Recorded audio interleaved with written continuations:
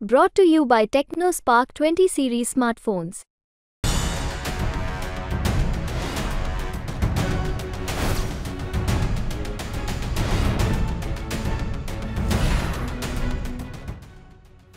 जालौर लोकसभा क्षेत्र से कांग्रेस जीत के लिए पूरा दम लगा रही है कांग्रेस प्रत्याशी वैभव गहलोत पूरे परिवार के साथ जालौर में आ गए हैं वहीं उनकी पत्नी हिमांशी और उनकी बेटी भी चुनाव प्रचार में जुटी हुई है। नौवीं कक्षा में पढ़ने वाली काश्विनी अपने पापा वैभव के प्रचार में जुटी हुई है। शुक्रवार को वैभव गहलोत ने भीनमाल क्षेत्र में जनसंपर्क किया। इस दौरान उन्होंने ग्रामीणों से संवाद किया और क्षेत्र की समस्याओं के बारे में बातचीत की। इस दौरान वैभव ने छेमकरी माता मंदिर में खीमज माता के दर्शन किए। वहीं वैभव जोगाव गाँव भी पहुँचे। और वहाँ बिश्नोई समाज के आराध्य गुरु जम्भेश्वर भगवान के दर्शन कर आशीर्वाद प्राप्त किया। इस दौरान वैभव गहलोत ने कहा कि कांग्रेस सरकार जन कल्याण और विकास की राजनीति में विश्वास रखती है। भाजपा की केंद्र सरकार और स्थानीय भाजपा सांसदों की उपेक्षा के कारण ही जालौर, सांचौर, सिरोही जिला पिछड़ा हुआ है। आज भी यहाँ बुनियादी विकास की जरूरतें जैसे ट्रेन, सड़क पानी, बिजली, रोज़गार आदि की समस्याएँ हैं।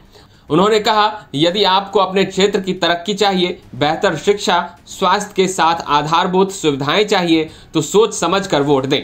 उन्होंने कहा कि कांग्रेस महासचिव प्रियंका गांधी 14 अप्रैल को भीनमाल आ रही हैं। वैभव गहलोत की पत्नी हिमांशी गहलोत भी इन दिनों जालौर लोकसभा क्षेत्र में सक्रिय हैं और प्रचार कर रही हैं। उन्होंने शुक्रवार सुबह जालौर सब्ज़ी मंडी में आमजन से चर्चा की और जनता से वैभव गहलोत को आशीर्वाद देने की अपील की। उन्होंने महिलाओं से रूबरू होते हुए कहा कि लोकतंत्र में महिलाओं की भी बराबर की भूमिका है। उन्होंने घर गृहस्थी की गाड़ी को रफ्तार देने, महँगाई से राहत के लिए अच्छी योजनाओं को लाने और क्षेत्र के विकास के लिए कांग्रेस को वोट देने की अपील की। इस दौरान उन्होंने मंडी के व्यापारियों से भी चर्चा की और उनकी समस्याएँ जानी। बीते दिनों पहले जनसंपर्क के दौरान हिमांशी गहलोत ने माली समाज के लोगों को वोट करने की अपील की। उन्होंने कहा, हमारे समाज की मैंने कमी महसूस की है। जो अशोक गहलोत ने समाज को आन और शान दी है, उसको हमारा समाज सम्मान और शान क्यों नहीं दे रहा है?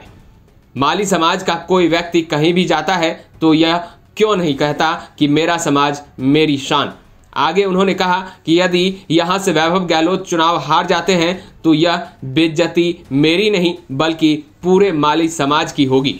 राजस्थान तक के लिए जालौर से नरेश बिश्नोई की रिपोर्ट।